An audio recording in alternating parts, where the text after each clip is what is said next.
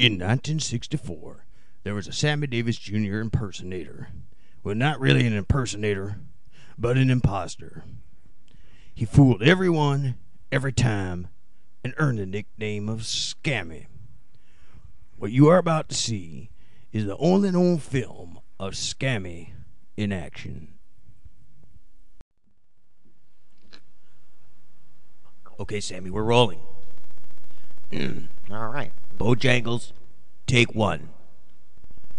Well, I met this cat Bojangles and he danced for me. In worn out shoes, this wacky cat Bojangles and he danced for me. In his underpants. Wait, what? Sammy, What? cut. What? What the hell was that? What's wrong with that? Just sing it how it's written. No, that's how the song goes, man. I can show you the lyric sheet. All right, let's move on to the next one. Candyman, take one. Who can take a sunrise, sprinkle in a dream, separate the sorrow and collect up all that cream? That candy cat, yeah, that candy cat can. That candy man can, 'cause he puts it in his underpants and makes the world Sammy, you're feel doing it again. There's nothing about underpants and candy man. What are you talking about, man? Of course No, there is. isn't. I read it just like it's written, man. What else have you got? I got this original I'd like to lay on you. Tell me what you think. I was wearing Grandma's panties, 'cause they were big and soft.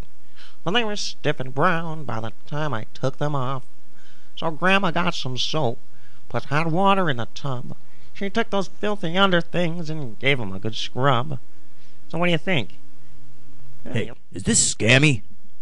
Uh-oh. Ah, shit. I think I hear my mom calling me, cats. scammy, Gotta everyone. go. Bye.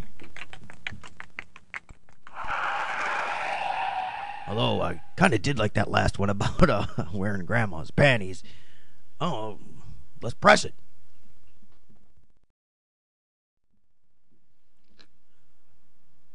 Okay, Sammy, we're rolling.